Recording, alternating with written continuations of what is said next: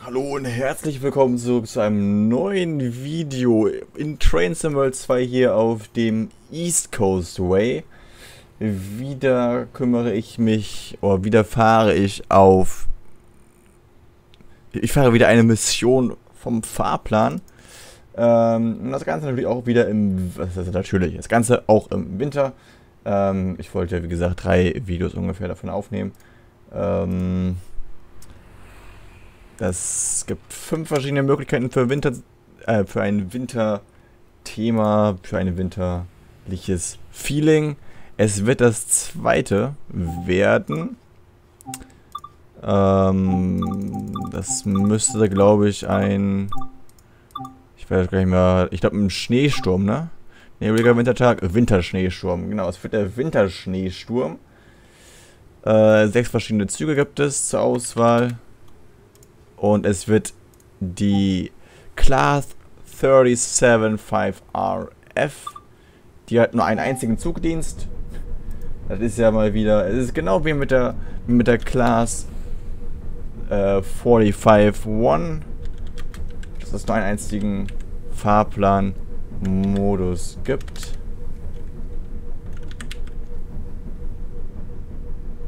Wieso bin ich eigentlich bei Class 37? Das ist eine Class 375. Das andere war eine Class 451. Ähm, Zugverbindung Nummer 1. Der andere gibt es ja nicht. Wunderbar, dann haben wir das auch schon mal geregelt. Dann kann ich das Ganze ja hier wieder minimieren. Einfach auch mal schließen, damit noch weniger offen ist. Und dann schauen wir mal, was für ein Szenario das ist. Es ist auch hier wieder eine Vintage-Eisenbahnroute. Wieder am ersten, okay, ich glaube, es war, war es beim anderen Szenario auch der erste, erste 2021, ich weiß es gar nicht mehr, doch, war es gewesen. Ähm, Bestpunktzahl 3840 Punkte, das heißt, wir fahren dasselbe Szenario noch einmal, nur nicht mit der Class 451, sondern mit der Class 375. Am besten ist in diesem Fall die Challenge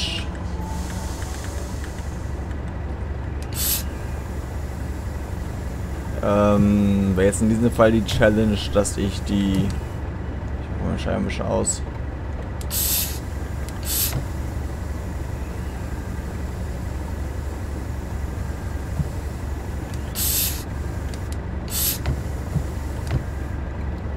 Äh, das wird in diesem Fall die 3840 knacken. Einfach nur um ein bisschen Challenge zu haben. Okay, das ist sehr schön, dass ich hier die Driver Safety Device nicht aktivieren kann.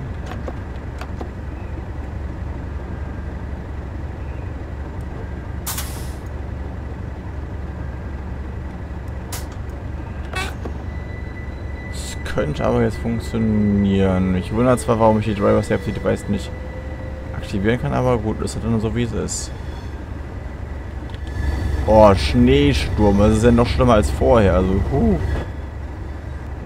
mal auf an. Jetzt war das Gefühl, ich komme zwar nicht wieder los hier wegen...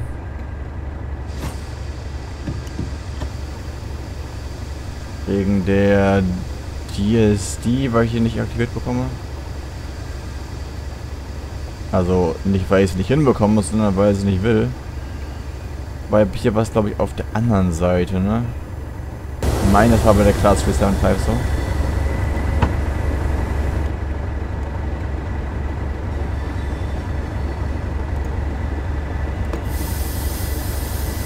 Ich habe trotzdem das Gefühl, ich kann sie nicht deaktivieren. Naja, egal.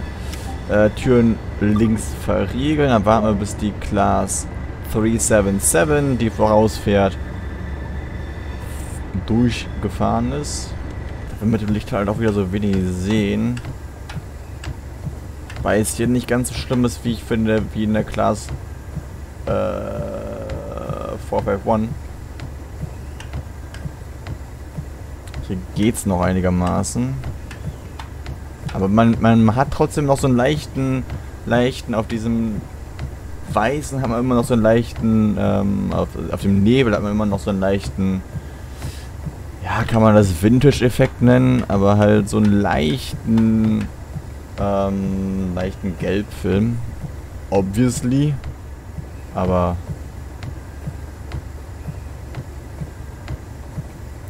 Okay, ausnahmsweise fahre ich mal mit Licht. Ich will mal schauen, ob ich jetzt hier vorankomme, aber nicht.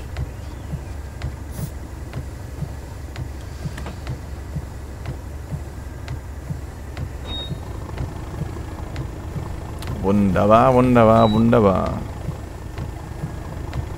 Vielleicht ein bisschen zu stark. Ich gehe mal wieder ein bisschen mal Leistung raus und dann fahren wir jetzt wieder über Berwick.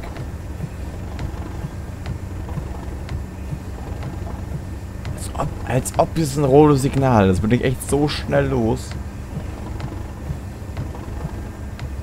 Aber erstmal schön durch den Schneesturm nach Eastbourne. Wieder die Vintage Tour. Ist aber schon eine ganz nice Tour, finde ich.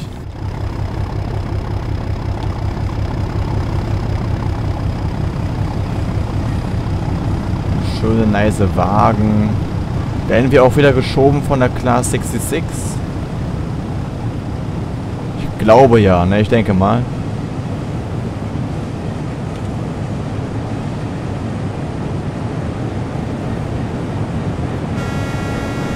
Jawohl, wir werden wieder von der Class 66 geschoben.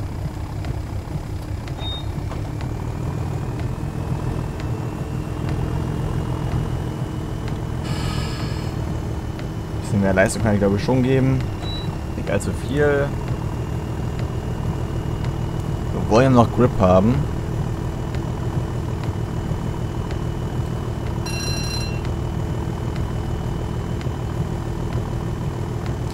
Aber ich, ich muss sagen, also ich würde sagen, das ist eine gute Sache, dass ich wirklich jetzt nicht so viel aufnehme, sondern nur zwei Touren heute.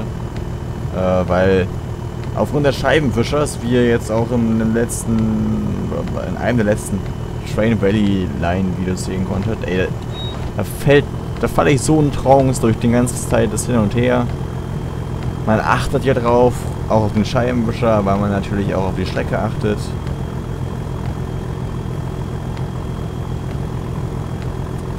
Das ist dann doch schon sehr trance, sehr trancierend, wenn man das mal verifiziert.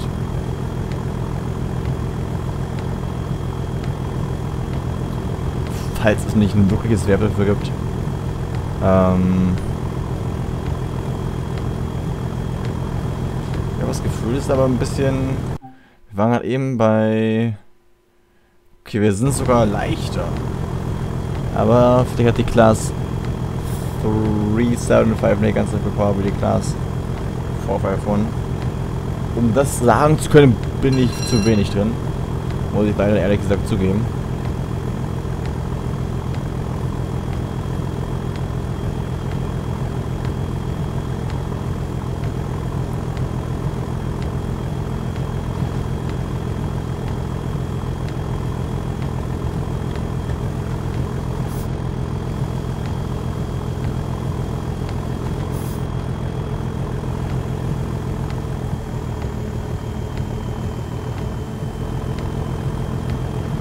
Merke schon, wir werden hier so ein bisschen ausgebremst, ne, durch, durch...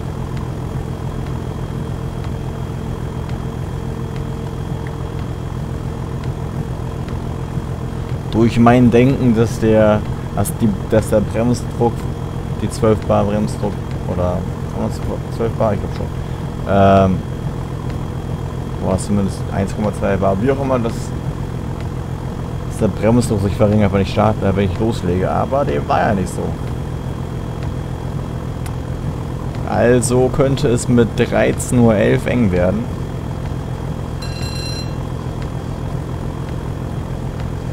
Bin mal gespannt, ob ich, oh, voila, ob ich die 3840 Punkte schlagen kann oder nicht.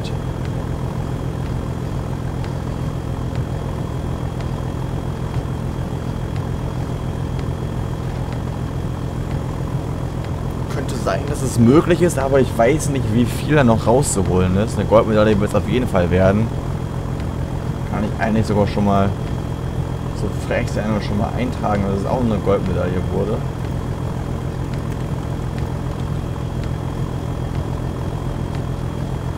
Einfach aus dem Grund, weil ich das Finale schon gefahren bin.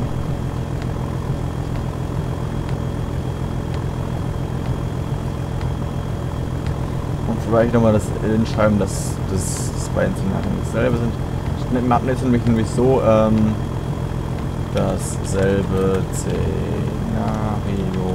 wie mit der Class for 5 ähm, Ich habe es nämlich so gemacht, dass ich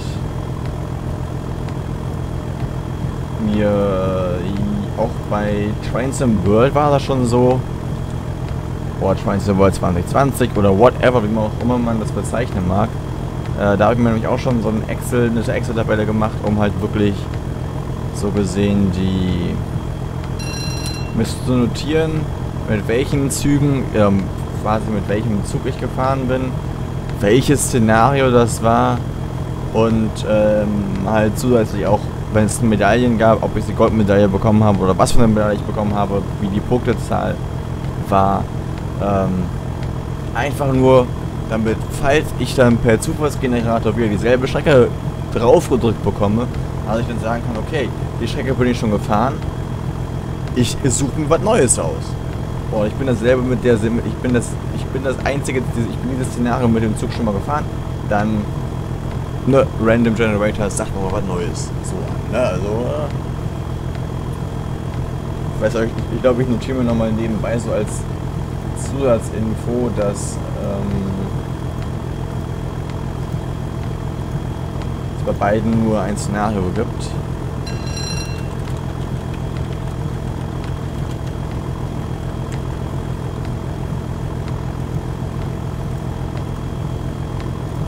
einfach nur, dass ich es für die Zukunft weiß.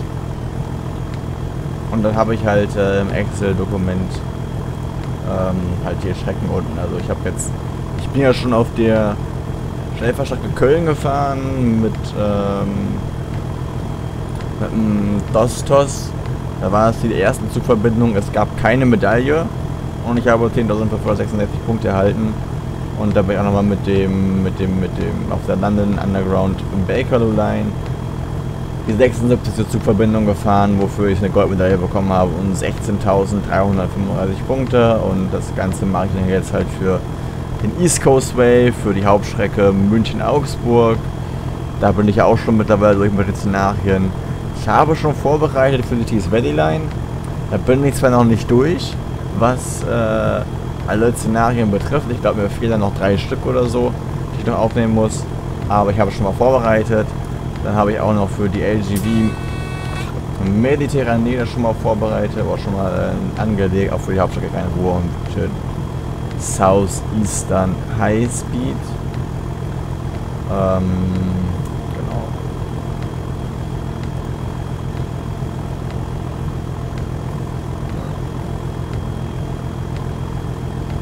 Ich könnte mir eigentlich prinzipiell auch noch mal notieren. Ähm,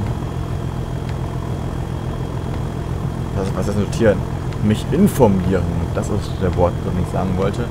Mich informieren über das amerikanische Zugsicherheitssystem, damit ich in Train Sim World 2020 auch mal wieder ein bisschen hier auf dem, ein bisschen weiter voranschreiten kann, was äh, den Northeast Corridor betrifft. Den soll es ja, so wie Lavan mir zumindest erzählt hat, es nicht geben.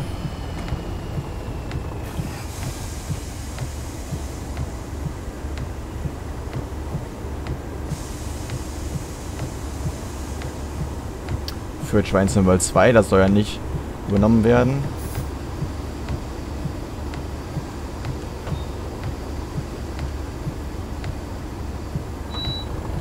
Daher äh, wird das irgendwann im Laufe der Zeit dann die einzige Strecke sein, die ich dann noch installiert haben werde von Trains in World.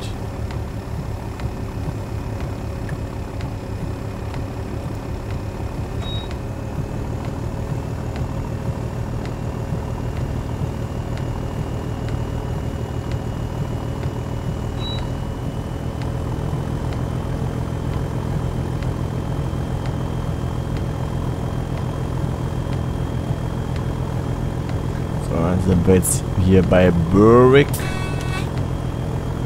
Und da habe ich auch wieder grünes Licht für die Weiterfahrt Eastbourne.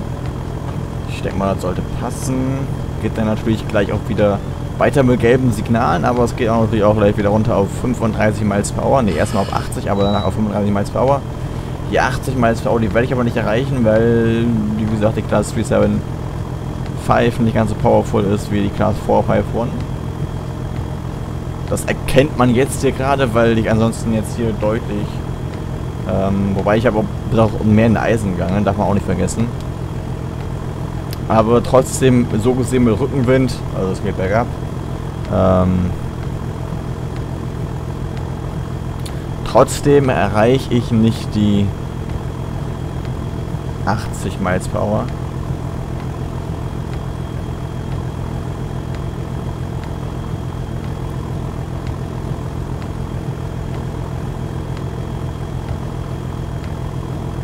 Und dementsprechend erstmal weiter speeden. Geht dann ja auch gleich so in ungefähr zwei Meilen runter auf 35 Miles per Hour. Haben wir die Kurve von, ich habe keine Ahnung mehr wie die Stadt heißt. Immer noch nicht. Ich nehme auch gerade direkt danach auf. Ähm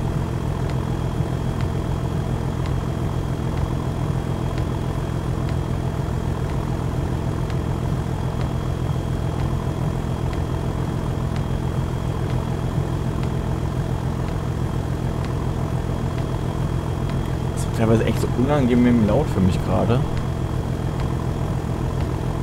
Ich bin nicht sicher, ob jetzt jemand gerade, ob ich irgendwie was von der Tür gehört habe. Ich muss den Sound muten, obwohl ich deutlich lauter den Sound habe als sonst ursprünglich, aber gut. Ich nehme schon mal einfach die Leistung raus und roll mit 67 miles Power auf der Geschwindigkeitsbegrenzung hinzu. Ja, ich habe das Gefühl, ich bin irgendwie schneller als sonst, weil irgendwie, ich hatte sonst keine roten Signale beim letzten Fall, aber ich glaube, ich bin auch echt deutlich früher da. Ich meine, ähm, als ich über Burbeck rübergefahren bin, hatte ich nur noch 10 Minuten. Jetzt bin ich halt super in der Zeit, was das betrifft.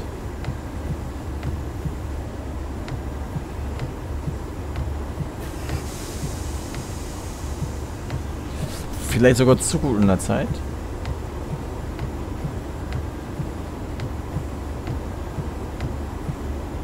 Wer weiß ja schon, aber wenn ich immer hier rote Signale habe, dann bin ich vielleicht doch zu gut in der Zeit. Ich muss nochmal stärker rein.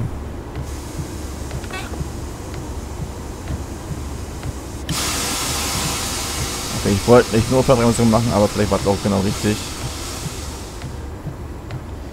Das war einfach zu früh.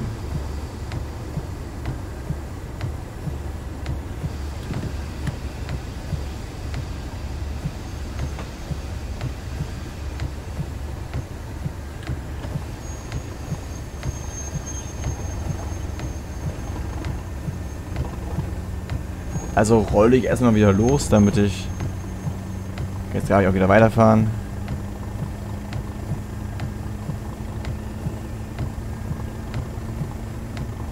Ja, irgendwie durch den Schneesturm komme ich komischerweise besser voran.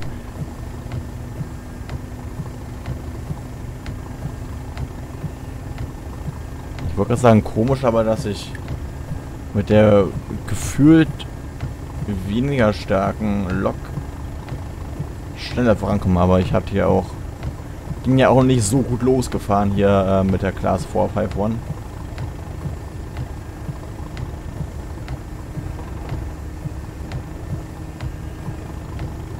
Blubbern wir uns mal wieder auf 35 Miles per Hour. Damit er wieder schön durch den durch die Kurve geht.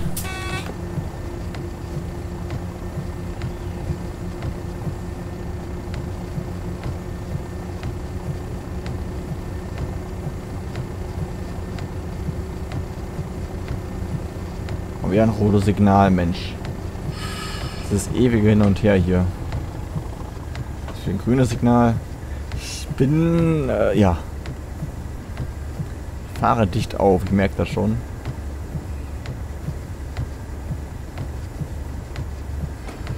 Ich mache die Leistung raus, denn ich weiß, er geht wieder bergab. Aber nicht allzu viel nachbremsen muss.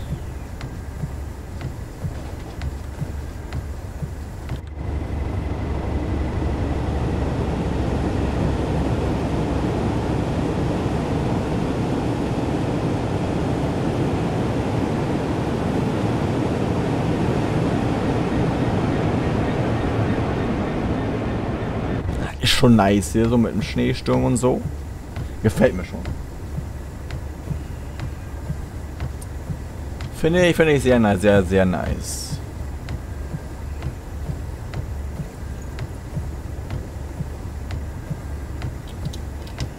Da haben wir jetzt die 35. 3,8 Meilen bis nach Eastbourne. Ah, davor muss ich auch wieder ordentlich aufpassen, weil äh, da wird es mit ja gut, wahrscheinlich werden werde ich noch so viele rote Signale zuvor haben, dass ich dass das eine rote Signal beim Bahnhof von, Bur äh, von, von Eastbourne jetzt auch nicht allzu wild ist. Ich frage mich ja, wie gut ich gerade punktemäßig dabei bin.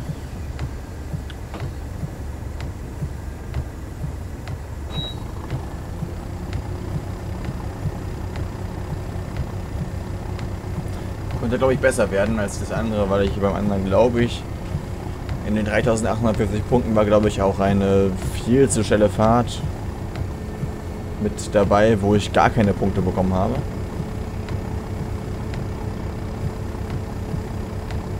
Aber naja, schauen wir mal, werden wir dann sehen. Das werden wir dann in 3,3 Meilen sehen.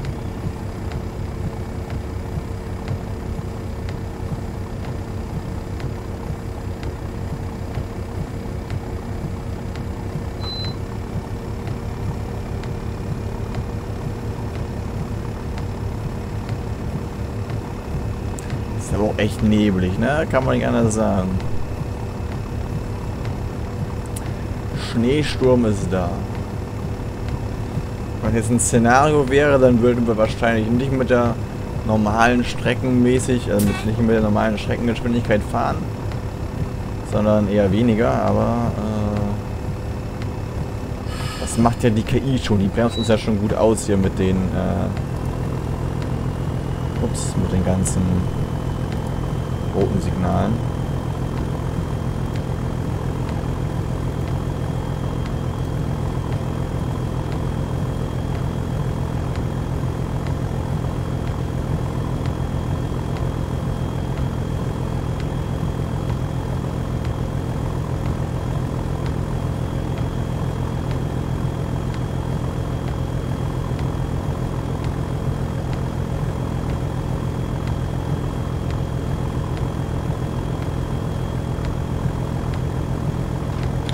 Fahren Im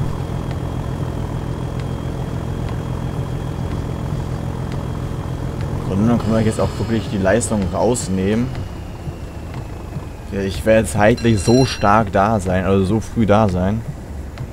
Kann ich mich auch schon jetzt einfach ausrollen lassen. Einfach jetzt weiterrollen. Ohne Leistung.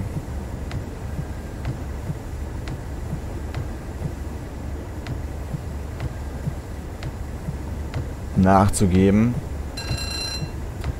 Ich muss jetzt auch gleich wieder wahrscheinlich reinbremsen, runter 25 Miles Power. Aber das ist auch in Ordnung.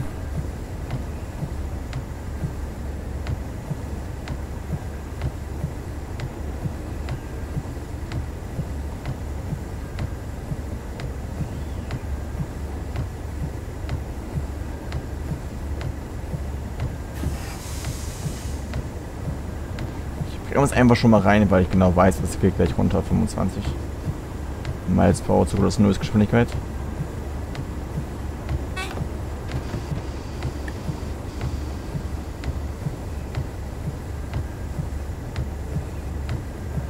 Und wahrscheinlich nochmal ein rotes Signal dazu. Muss dann ja nicht sein, dass ich dann irgendwie noch weiter rüberbretter. Ich merke jetzt schon, ne, hier zwei Fahrten mit dem Scheibenwischer und hier schon wieder komplett nicht bei der Sache, weil ich einfach überhaupt nicht mehr genau, weil ich einfach komplett in Trance falle durch das ganze Geräusch, auch wenn ich gerade mir Mühe gegeben habe, nicht allzu sehr darauf zu achten, aber ähm, es war schon ausreichend,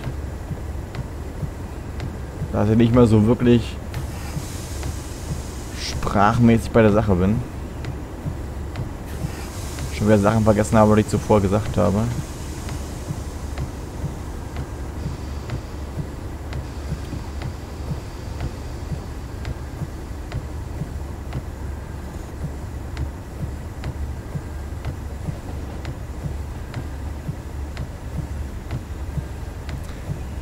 Man fällt halt wirklich in eine Trance.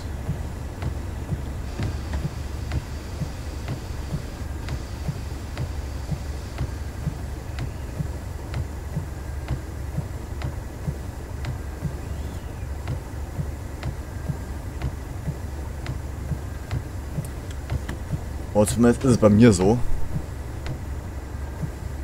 Vielleicht liegt es ja an mir. Und boah, hier ist es nicht so, aber... Ja. Irgendwie ist es bei mir der Fall. Weil ich dann irgendwie nicht mehr so wirklich bei der Sache bin.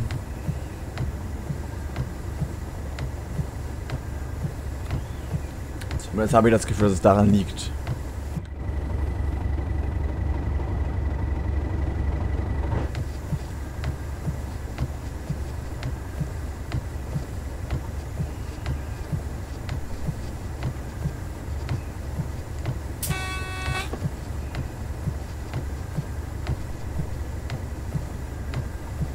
Ich würde sagen, wir warten hier einfach unter dem unter der Überführung.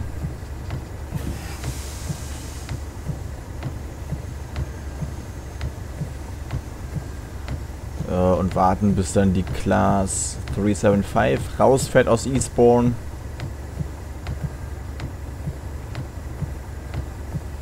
Und da ist sie ja. Man erkennt sie kaum, aber da ist sie. Ups, die Class 375.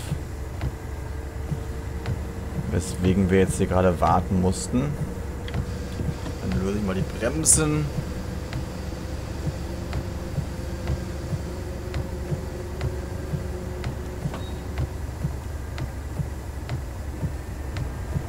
Und dann blubbere ich mal in den Bahnhof von Eastbourne rein.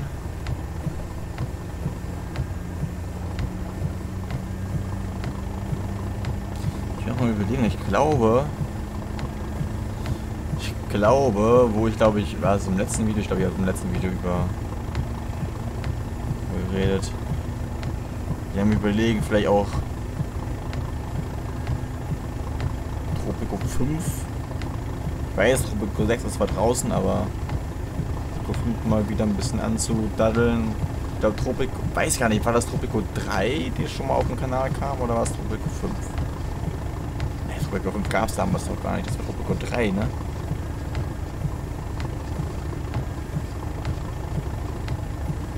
Ich meine, Tropico 3 muss es gewesen sein.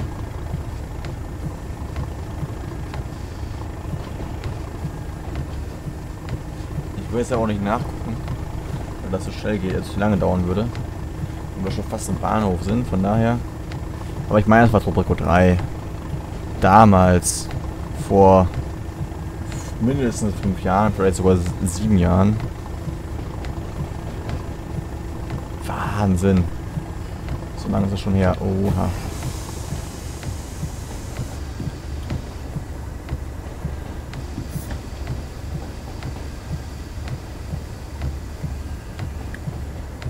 Jetzt hier den Bremspunkt auch wieder finden. Im Nebel, wieder mit Kopfbahnhof.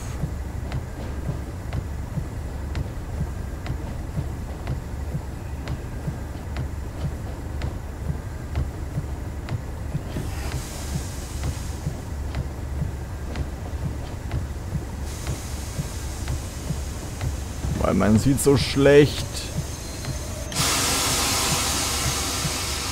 Und spät. Boah, 500 Punkte.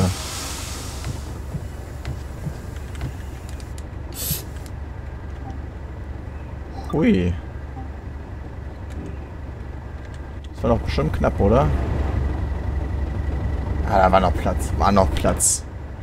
Kam mir eng, enger vor, als es eigentlich war. Ich glaube, ich musste die gar nicht mehr zumachen, die Tür, ne? Ich kann dann hier prinzipiell einfach nur aussteigen.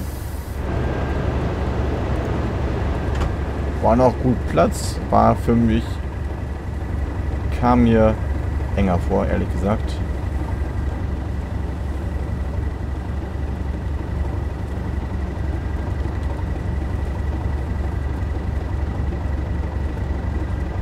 Ist auch schön hier mit dem Wahlemblem. Das glaube ich, soll, soll das ein Wahl darstellen? Ich denke mal schon, oder?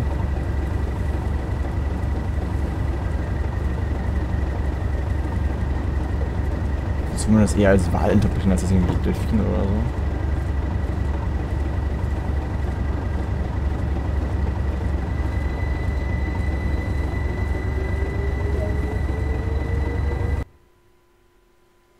Wunderbar. Und die 3840 habe ich nicht ganz geknackt.